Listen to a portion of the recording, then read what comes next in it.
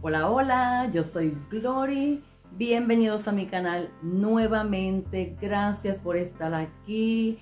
Y si eres nuevo, gracias por acompañarnos. Espero te guste este canal y te guste este video y te quedes y te suscribas y seas parte de esta familia que ya está creciendo cada vez más. Y hoy vengo con un tema rete importante un tema nuevo en este canal porque siempre hablo de Puerto Rico y todo, pero no hablo como que de mi vida ni nada. Pero hoy voy a hablar de mi matrimonio. Hace 34 años nos casamos mi esposo y yo y quiero darle algunos tips de cómo pueden mantener su matrimonio. No soy experta, no soy consejera, voy a hablarles de mi experiencia. Espero les sirva un poquito si es que están teniendo quizás un poquito de problema en su matrimonio o llevan años casados, si quieren saber cómo llegar a 30 años o 40, voy a darles unos tips de lo que yo pienso que deberían hacer, ¿verdad? O haber en el matrimonio para que se mantengan juntitos. Así es que si te interesa este video, no dejes de verlo, no te lo pierdas, no te vayas a ningún sitio, quédate viendo y por favor suscríbete si te gusta este canal, dale like al video si te gusta, por supuesto, a la campanita para que te avise siempre que subo un video nuevo. Y también comenta y comparte con todo el que tú sepas que este video puede ayudarle. Quizás en su matrimonio. Y sin nada más que decir, vamos a ver cómo lograr tener un matrimonio duradero.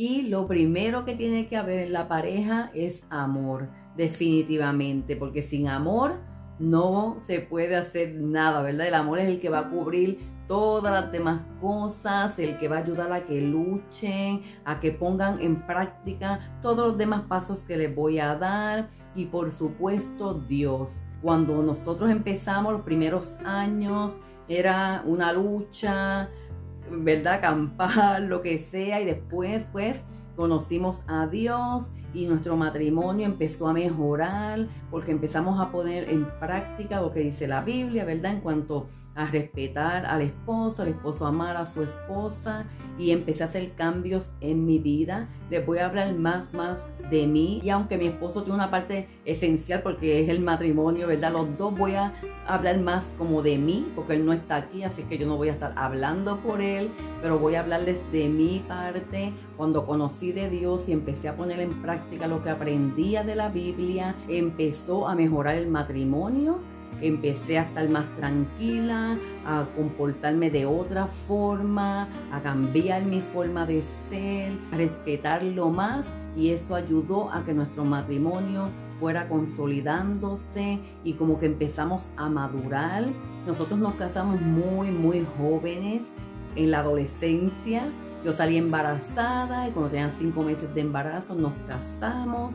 Así es que yo tenía 16 años. Imagínense, dos niños casados sin saber nada de la adolescencia. Peleábamos por cualquier cosa. No teníamos la madurez para un matrimonio, definitivamente. Entonces éramos bien jóvenes, con niños, con familia. Y fue bastante difícil. Pero como les digo, lo primero es el amor si hay un amor fuerte, eso nos ayudó, ¿verdad?, a luchar con todas las cosas que vinieron. Y no les digo que fue fácil para nada.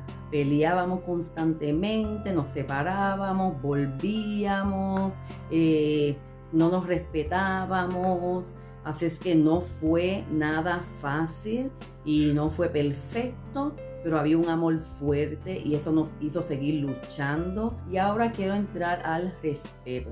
Eso es esencial. Tú que me estás viendo, seas hombre, mujer, el respeto es esencial. Tienen que respetarse. Respetar al otro en todo aspecto. Si el otro quiere hacer algo con su vida, respetarlo. Si el otro hizo algo que quizás a ti no te gustó, decirlo, pero siempre recuerden que no es lo que se dice, sino cómo se dice. Podemos decir las cosas. Mira, si tienen un problema, pues mira, no me gustó esto, que hiciste esto y, me lastimó, me estuvo malo, él también a ti, viceversa, es cómo se digan las cosas, en la forma que se digan. Si uno de los dos está más enojado porque algo le estuvo malo y en el momento no es adecuado como decir, pero es mejor callarse, no decir nada y esperar a que ¿verdad? la marea baje para entonces decir lo que pensamos, lo que no nos gustó. Mira, no me gustó que me, me, dijiste esto o que me hablaste así y tener una comunicación. Y no es nada, nada de fácil poder nosotros decir, mira, me equivoqué. Eso también hay que ser humilde, gente hay que ser humilde, tenemos que dejar el orgullo a un lado y saber decir perdóname o discúlpame cuando sabemos que tenemos la culpa. Porque cuando nosotros decimos discúlpame, perdóname, eso sana muchas heridas, eso hace que el coraje de la otra persona se vaya. Pero si nosotros nos mantenemos, aunque estuvimos mal en la de nosotros, y se los digo por experiencia, no lo estoy diciendo porque digo que yo no lo hice ni nada, se lo estoy diciendo porque yo lo hacía, porque yo era orgullosa, a veces mi esposo era orgulloso y nadie quería ceder, ninguno de los dos queríamos ceder y eso traía más conflictos y cosas que nos sanan en la pareja. Si nunca decimos un perdón ni discúlpame y ya nos contentamos y eso se queda como ahí en el aire, con el tiempo puede ser una bomba que explote y las cosas no salgan bien. Entonces, siempre que cometamos un error, que sabemos que ofendimos, pedir disculpas y perdón es súper, súper esencial y siempre con respeto, tratar de no discutir, tratar de no ofender al otro. Recuerden que las palabras hacen mucho más daño que quizás el daño hasta físico, que de ninguna manera puede existir tampoco jamás en la vida nada físico, por favor, nada físico. Por eso les digo que esperen que la marea baje y después se habla, porque cuando uno habla enojado, ofende y dice cosas que después, aunque te arrepientas, ya las dijiste e hicieron bastante, bastante daño. Así que, por favor, mucho respeto y pensar antes de hablar y no hablar cuando estemos con coraje y nunca gritando ni nada. Ese es mi consejo, lo que yo he aprendido a través de los años de matrimonio que no teníamos, pero que hemos ido mejorando y eso nos ha ayudado un montón. Y siempre lo digo con el que hable, le digo, para mí, después del amor, ¿verdad? Y después de, de Dios, es el respeto. Si hay respeto en una pareja, pueden durar muchísimos años. Y algo que viene a la par con el respeto es la comunicación. Tienen que comunicarse y cómo lo hagan otra vez. Así es que yo creo que me adelanto un poquito en cuanto a lo del respeto con la comunicación, pero no, porque el respeto es cómo decimos las cosas, que las digamos con respeto, pero la comunicación es de que me molestó esto de la otra persona y me quedo callado me molestó, pero no voy a decirle nada para no discutir. ¿Y qué es lo que pasa? Que después eso se queda y se queda ahí hasta que explotamos también. Entonces no hablen, dígale a otra persona que no te gusta.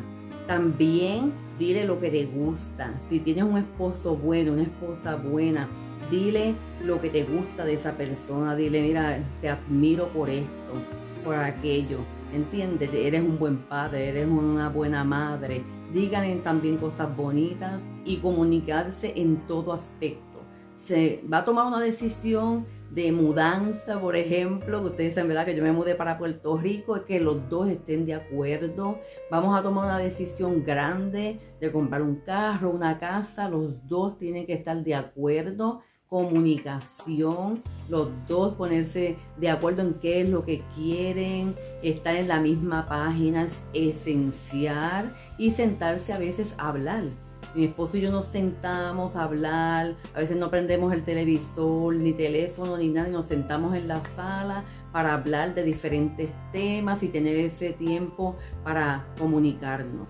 Entonces es bien, bien importante. Número cuatro, y yo pienso que también de las más importantes, después del respeto, la confianza. Si no hay confianza en un matrimonio, no puede tener éxito. No puede. tiene que haber una confianza de que esa persona pueda ir y venir, yo ir y venir, y que yo pueda confiar en que cuando salió me va a respetar, cuando yo salga, él también sepa que yo lo voy a respetar, que yo no voy a pensar que él está haciendo nada malo, que él no va a estar pensando que yo estoy haciendo nada malo. Esa confianza en la otra persona tiene que estar. Porque si no confiamos, si pensamos que cada vez que nuestro esposo o esposa va a salir por la puerta, va a hacer algo malo y vamos a estar llamándolo a cada cinco minutos, ¿dónde estás? ¿Qué haces? La persona se va a cansar. Entonces no podemos hacer eso, confiar en nuestra pareja, ¿verdad? Si no podemos confiar, pues no se puede estar con esa persona. Si no confiamos en la persona, no podemos estar porque no vas a ser feliz tú y no vas a ser feliz tampoco al otro. Así es que mi consejo, por favor, trata de confiar. Tiene que haber una confianza fuerte para que puedan llegar a tener muchos años de matrimonio. El próximo punto es la complicidad. Eso lo que ustedes dicen complicidad. Pero sí, mi esposo y yo son como cómplices, así como que de todo. Y él me mira y me dice, ¿qué tú crees si nos vamos este fin de semana eh, a un Airbnb? Nos quedamos por allá por tal y tal pueblo. Y yo, mm, eh, está bien, suena perfecto, vámonos. Y mira, hacemos maletanco. Entonces somos así como cómplices y, y siempre estamos pensando en qué hacer y de momento estamos sentados y él me dice, nos vamos para la playa. Ay, pues vámonos para la playa. Y mi familia lo sabe que nosotros somos así. Bueno, venimos de vacaciones y dijimos, nos quedamos en Puerto Rico, nos quedamos. Es algo que es bien bonito. Que hemos llegado a ese punto donde somos cómplices el uno con el otro y tenemos una comunicación bien chévere, pero nos tomó muchos años, como le digo, no fue fácil, no le estoy diciendo que fue fácil, eh, hemos tenido muchísimos problemas, como les dije antes nos dejábamos mucho, volvíamos, discutíamos, pero ya hace muchos años que no discutimos, de discusión fuertes ni nada, podemos enojarnos, claro, porque no somos un matrimonio perfecto, podemos quizás él se enojó por algo, yo me enojé por algo, pero nunca gritarnos, ni agredirnos, ni verbalmente, ni físicamente, ni nada hemos llegado ya a este punto donde nos respetamos muchísimo y con esa complicidad viene una amistad, ¿verdad? Sentimos que él es mi mejor amigo y yo soy su mejor amiga. Nos sentimos así porque después de 34 años, imagínense, y siempre estamos juntos, ya criamos a nuestros hijos y ya estamos él y yo, somos él y yo, vamos, venimos, siempre estamos juntos y como les digo, ya nos hay un respeto, hay una complicidad, hay una confianza, entonces hemos llegado a un punto donde de verdad nos sentimos bien el uno con el otro, vamos, venimos y bueno, la familia dice, pues claro, si él se va, ella se va también, a donde quiera que él se vaya, él tiene que ir y no es por falta de confianza, es porque nos vamos juntos para todas partes. Aunque nos damos nuestro espacio, eso es otra cosa muy importante. Denle espacio a su pareja, que cada cual tenga sus cosas por separado, no tienen que estar ahí como si a meses todo el tiempo juntos. Que si yo no voy, él no va. Si él no va, yo no voy. No, él puede ir de vez en cuando a sus cosas y tú a tus cosas. Por ejemplo, a mí me encanta ir a las tiendas y a mi esposo no le gusta. No le gustan para nada las tiendas y yo me voy sola. Y, o si tengo mi hija conmigo, una amiga, lo que sea, me voy de tiendas y él pues va a su gimnasio, va a hacer sus cosas, entonces tiene que también, ahí es donde entra también la confianza, de que cada cual haga también sus cosas por separados, pero muchas cosas juntitos también, siempre que se pueda, porque eso va a unir la relación. Así es que espero haber podido arrojarles un poquito de luz por ahí y algunos de estos tips les sirva para que su matrimonio también dure un montón. Por favor, respétense, quiéranse, confíen el uno al otro comuníquense, hablen mucho, aunque a veces uno habla más que el otro. en el caso de mi esposo y mío, que yo soy la que hablo un montón y él es más tímido, por eso no lo ven mucho por aquí, no le gusta mucho estar en la cámara y no es mucho de hablar, entonces él es más tímido y yo soy más, ¿verdad? Habladora, como habrán visto pero hacemos un complemento. Él es más tranquilo, yo soy más extrovertida, pero así hemos durado y respetar la forma de ser de cada cual. Él es como él, yo soy como soy, nos respetamos nuestra forma de ser. Espero haberlos podido ayudar, que les haya gustado este video, me dio un poquito de nervios hablar de esto. Déjenme saber si tienen algo más que agregar aparte de lo que yo dije en los comentarios, algo que a ustedes les haya funcionado y que todos nos podamos beneficiar también. Y si nos quieren conocer un poquito más, debajo de este video dejen preguntas que quieran saber porque en una semana y algo vengo con el video de que cumplimos un año ya en Puerto Rico. Voy a hablar de nuestra experiencia en Puerto Rico, pero también les voy a estar contestando preguntas sobre nosotros, qué quieren saber de nosotros, cuántos hijos tenemos, de qué consta nuestra familia, las preguntas que quieran saber para que nos conozcan un poco mejor. Déjenla debajo de este video y también la comunidad. Dejé la pregunta, así que debajo de eso también pueden poner sus preguntitas porque vengo a contestárselas todas.